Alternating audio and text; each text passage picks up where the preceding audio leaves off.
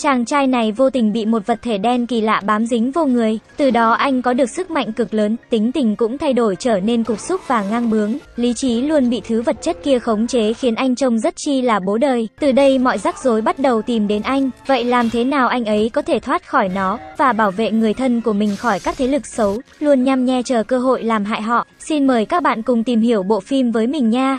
Peter sau khi chia tay Mary Jane ở lễ tang của bố Harry, khi mối tình chưa kịp nở đã vội tàn thì lần này Peter quyết định úp sọt Mary bằng cách hẹn hò, và thế là hai người cũng đã bắt đầu có một tình yêu tuyệt đẹp giữa người nhện và người đẹp. Cuộc sống đôi tình nhân ngày càng mặn nồng, không có muối thì cũng có cả rổ mì chính. Tối hôm đó hai người đang hẹn hò lãng mạn, thì có một vật thể lạ từ trên trời lao thẳng xuống mặt đất, đó chính là thứ vật chất đen kỳ lạ, giống như slime mà bọn trẻ con hay chơi vậy. Nó không thể tồn tại độc lập trong không khí, cơ thể một khi bị nó bám dính, sẽ tạo ra nguồn sức mạnh vô địch. Lúc này cặp đôi Peter cũng chuẩn bị trở về nhà, vật chất đen lặng lẽ bám theo sau xe họ, đối tượng nó nhắm tới đầu tiên chính là Peter. Lúc này cậu bạn cũ Harry Osborn cũng khám phá ra bí mật về quỷ mặt xanh, nó lại đi theo vết xe đổ của người cha dại và tiến hành cải thiện gia tài. Kết quả là, sau khi cải thiện, không còn xuất hiện tác dụng phụ như hồi trước thế là nó cũng giỏi hơn bố nó rồi. Hơn nữa, sức mạnh của Harry Osborn cũng tăng lên gấp bội nhờ quỷ mặt xanh. Ngay sau đó anh quyết định tìm Peter báo thù. Lúc này Peter chào tạm biệt bác gái, phi xe đến nhà Mary Jane cầu hôn cô. Trên đường đi bất ngờ gặp phải sự tấn công của Harry Osborn. Không kịp phản ứng lại Peter bị nhấc bổng lên không trung và thế là đại chiến giữa hai người bạn cũ xảy ra. Peter yếu thế vì quên mang theo áo giáp chuyên dụng, nhưng lúc chuẩn bị phản công lại bằng sợi tơ nhện, lại bị đối phương dùng vuốt nhọn chặt đứt đối thủ để Peter lộn nhào trên không.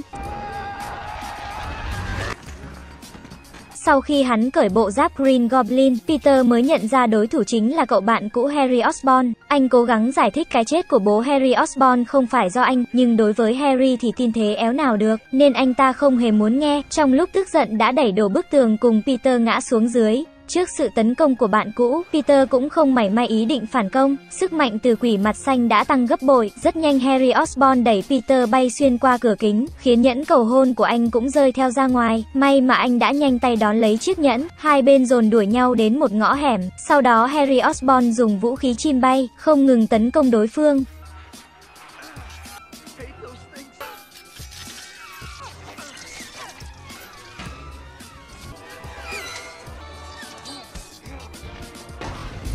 Peter lúc này mới dùng sợi tơ nhện phản công lại, khiến vũ khí chim bay dần dần bị tiêu diệt. Harry Osborn rơi vào yếu thế, rơi tự do từ trên cao xuống mặt đất, vùng não anh bị chấn thương nghiêm trọng.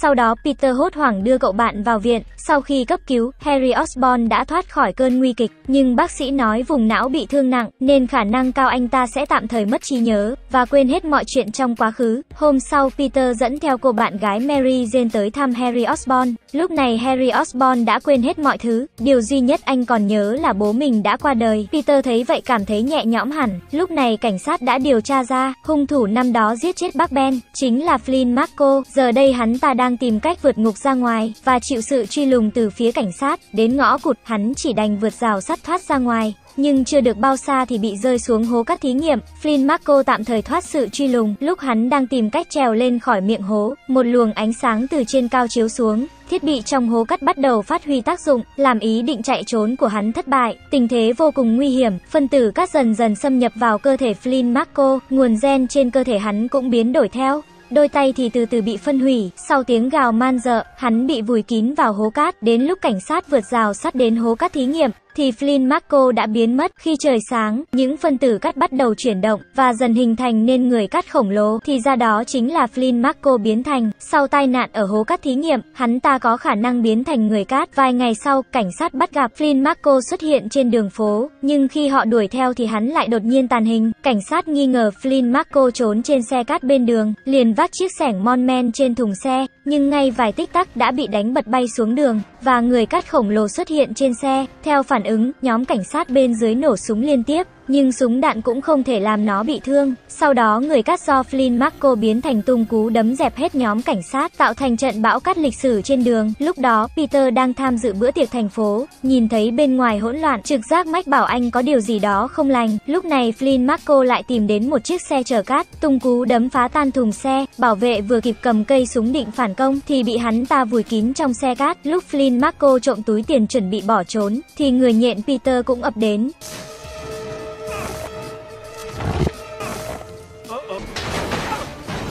Trong tích tắc, anh dùng sợi tơ bao vây chiếc xe, không ngừng tấn công bất ngờ từ trên cao, nhưng anh phát hiện ra cách đánh này cũng không có tác dụng gì với người cát. Sau đó Peter lao về phía trước và phát huy sức mạnh đôi chân mình, không ngờ, người cắt lợi dụng sơ hở tấn công lại, khi thấy sắp xảy ra va chạm với xe phía trước, Peter dùng sợi tơ cản xe lại và cứu sống hai người tài xế. Lúc này người cắt đã lợi dụng thời cơ rời khỏi hiện trường, còn Peter vẫn trong tư thế đề phòng. Vài hôm sau, cảnh sát thông báo cho Peter và bác gái anh, sự thật về hung thủ năm đó giết hại bác Ben, chính là tên tội phạm vượt ngục Flynn Marco. Peter về nhà mặc sẵn bộ áo giáp chuyên dụng, nghe ngóng tin tức về Flynn Marco, nhưng đợi mãi đến tối cũng không có tin gì. Thế rồi, trong giấc mơ của anh, hiện lên toàn hình ảnh bác Ben bị giết hại. Chính lúc này, vật chất đen bí ẩn bám theo Peter lúc trước, lợi dụng lúc mơ màng đã bám vào cơ thể anh, cho đến khi Peter tỉnh dậy, thứ chất độc này đã bao phủ toàn cơ thể anh, khiến cho màu áo giáp chuyên dụng chính nghĩa cũng biến thành màu đen tà ác. Chính anh cũng cảm thấy có luồng khí mới trong cơ thể mình, nó hòa vào luồng khí ban đầu, khiến anh biến thành người nhện độc. Có lẽ lúc này anh thật sự đã mang nguồn sức mạnh vô địch. Không chỉ vậy, lý trí của Peter cũng thay đổi theo, để báo thù cho bác Ben. Peter ra sức tìm kiếm Flynn Marco, vừa nhìn thấy nhau, hai bên lại xảy ra ác chiến.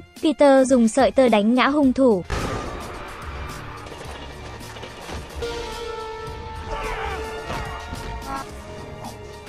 Sau đó túm tóc hắn cọ sát vào tàu đang chạy, tưởng chừng có thể kết thúc mối thù tại đây, thì tay Flynn Marco chạm vào cát trên mặt đường, và bỗng nhiên biến thành người cát, cuộc chiến diễn ra vô cùng ác liệt. Chỉ khi rơi xuống vũng nước, Flynn Marco mới phát hiện ra cơ thể không thể tiếp xúc với nước được. Peter cũng từ đó mà biết được điểm yếu của người cát. Sau đó anh lao tới chiếc thùng đang phun nước, dùng hết sức phá tan nó, nước phun ra xối xả, nhấn chìm người cát trong bể nước, nhìn cơ thể người cát tan biến dần, thù hận trong lòng anh mới nguôi ngoai. Sau khi về nhà Peter nhận ra, bản thân từ bao giờ đã biến thành tên ác nhân, anh nhìn lại màu áo giáp chính nghĩa đã thay đổi, và cho là chính nó đã biến anh thành kẻ xấu xa. Peter ngay lập tức cởi ra, rồi cất vào tủ gỗ. Lúc này, Harry Osborn đang uống rượu một mình, đột nhiên anh nghe thấy tiếng gọi của người bố đã mất, anh sợ hãi tiến gần lại phía chiếc gương, những hình ảnh trong ký ức dần hiện hiện về rõ nét, trí nhớ đã phục hồi, anh nhớ lại việc người nhện Peter hãm hại bố mình, nỗi uất hận trong lòng lên đỉnh điểm, anh quyết định sẽ khiến Peter sống không bằng chết. Mục tiêu đầu tiên là cô bạn gái của Peter, Mary Jane vừa về tới nhà đã bị Harry Osborn nấp sau cửa khống chế, anh ta uy hiếp sẽ giết Peter nếu họ không chia tay, thế là cô chỉ có thể hẹn gặp Peter, nói lời chia tay với anh, mặc cho Peter đem nhẫn cầu hôn ra trước mặt Mary Jane, cũng không thể cứu vớt được một cuộc tình, cô còn nói dối đã phải lòng người khác, Peter đau lòng tìm đến cậu bạn cũ Harry Osborn, nhưng cậu bạn lại nói với anh, bản thân chính là người thứ ba trong cuộc tình của họ, người mà Mary Jane phải lòng chính là anh, làm sao có thể có chuyện như vậy, điều này khiến anh nổi cơn thịnh nộ.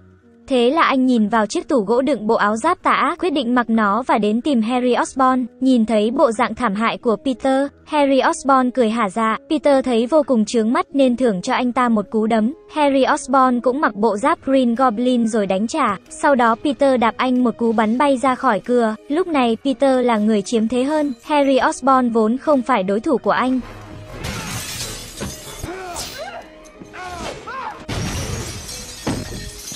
Khi Peter chuẩn bị rời đi, Harry Osborn không phục nên đã ném bom về phía anh.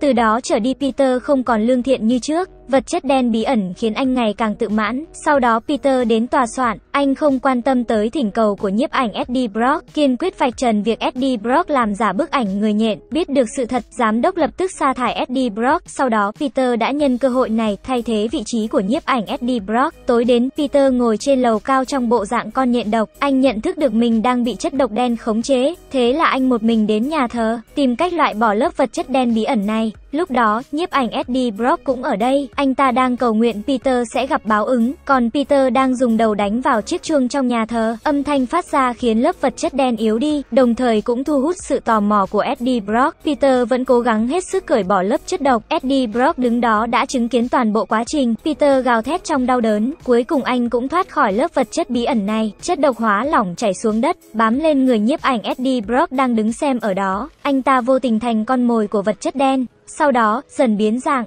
và biến thành người nhện đen, nhưng anh ta không lập tức tìm Peter báo thù, mà tìm tới người cắt Flynn Marco. Sau khi bị nhấn chìm trong nước, lúc này người cắt cũng dần phục hồi. Hai bọn chúng bày mưu tính kế, hợp lực chống lại người nhện Peter. Người nhện đen Eddie Brock sẽ bắt cóc Mary Jane, sau đó nhốt cô trong xe rồi treo lơ lửng trên không. Cảnh sát muốn giải thoát con tin, nhưng lại bị người cắt cản lại. Sau khi biết tin Peter nhanh chóng về nhà, mặc lên mình bộ áo giáp chuyên dụng, rồi biến thành người nhện siêu đẳng. Đây là vụ giải cứu con tin khó khăn nhất của người nhện, vì đối thủ của anh gồm người cắt và người nhện đen. Nhưng lần này Peter không đi một mình, mà đến nhờ anh bạn Harry Osborn giúp đỡ, vì mình anh không phải là đối thủ của hai bọn chúng. Khi Harry Osborn quay lưng lại, Peter thấy vết sẹo lớn trên mặt anh ta, anh bắt đầu tự trách bản thân mình, nhưng Harry Osborn vẫn tỏ thái độ không muốn giúp đỡ. Peter chỉ đành rời đi trong bất lực. Lúc này quản gia đến và nói với Harry Osborn, cái chết của bố anh không liên quan tới Peter, thứ cướp đi mạng sống của ông ấy là do tai nạn khi sử dụng vũ khí. Giờ đây Harry Osborn mới hiểu ra chân tướng sự việc. Lúc này Peter đã đến hiện trường, tìm cách giải cứu Mary Jane. Người nhện đen bất ngờ ra tay từ phía sau và lao tới trước mặt anh. Đó chính là nhiếp ảnh Eddie Brock. Sau đó hắn bắt lấy Mary Jane. Peter lúc này đang định tung cú đấm thì bị đánh bay ra ngoài. Người nhện đen cưỡi lên lưng anh. Hắn nói muốn cho anh nếm trải cảm giác đau đớn. Lúc này Mary Jane nhanh tay cản lại. Peter ra sức vùng vẫy. Trận hỗn chiến lại diễn ra. Peter bị lớp vật chất đen quật ngã xuống đất. Vừa đứng dậy chuẩn bị phản công. Bỗng xảy ra động đất. Người cát khổng lồ từ đâu xuất hiện. Nhìn thấy quái vật tàn ác. Mọi người hốt hoảng chạy toán loạn. Quái vật tung cú đấm về phía Peter. Lúc này Mary Jane cũng đột nhiên rơi xuống. Peter lao đến cứu nhưng bị cản lại. Người nhện đen tìm cách siết chặt cổ anh, để cho quái vật giáng mạnh cú đấm. Sức mạnh của Peter dần cạn kiệt. Anh nhìn người con gái của mình gặp nguy hiểm,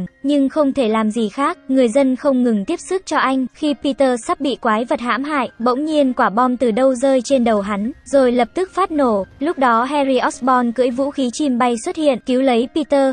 Hai người hợp lực Peter hỗ trợ Harry Osborn đánh ngã người nhện đen, sau đó Harry Osborn dùng ngọn lửa thiêu dụi người cát và đánh gãy cánh tay phải của nó. Nhờ phối hợp ăn ý, hai người họ đã cứu được Mary Jane, người cắt cũng bị Harry Osborn tiêu diệt, đánh cho hiện nguyên hình. Trên lầu cao Peter chưa kịp hả dạ, bất ngờ bị người nhện đen tấn công, đánh anh ngã xuống đất, tấn công liên tiếp khiến anh phản ứng không kịp. May mà Harry Osborn hỗ trợ, nhưng vũ khí chim bay của anh rất nhanh đã bị người nhện đen khống chế, âm thanh đổ vỡ khiến vật chất đen phân tâm. Lúc này Peter phát hiện ra điểm yếu của hắn, khi hết tiếng động người nhện đen dùng vũ khí sắc nhọn, định hạ gục Peter. Harry nhanh chóng lao đến đỡ cho Peter một nhát, vũ khí đâm xuyên qua cơ thể anh. Peter nổi giận lôi đình, gắng sức dùng sợi tơ buộc lấy thanh sắt, sau đó đập chúng vào nhau cho phát ra tiếng động, rồi dùng thanh sắt bao vây người nhện đen, tạo ra tạp âm khiến hắn yếu đi. Lúc này anh dùng sợi tơ kéo Eddie Brock ra khỏi lớp vật chất đen. Khi thấy chúng sắp bám dính lấy mình, Peter nhặt quả bom bên cạnh ném về phía lớp chất độc. Lúc đó Eddie Brock lại bị hút bởi siêu năng lực mà vật chất đen tạo ra, nên đã lao tới phía trước, rồi bỏ mạng trong đám nổ. Lúc này người cắt Flynn Marco đã phục hồi. Ông ta nói cho Peter biết sự thật về cái chết của bác Ben. Vài năm trước vì muốn kiếm tiền chữa trị cho con gái, ông ta đã đi vào con đường tội lỗi. Một hôm đến gặp bác Ben, bác Ben đã khuyên Flynn Marco rửa tay gác kiếm,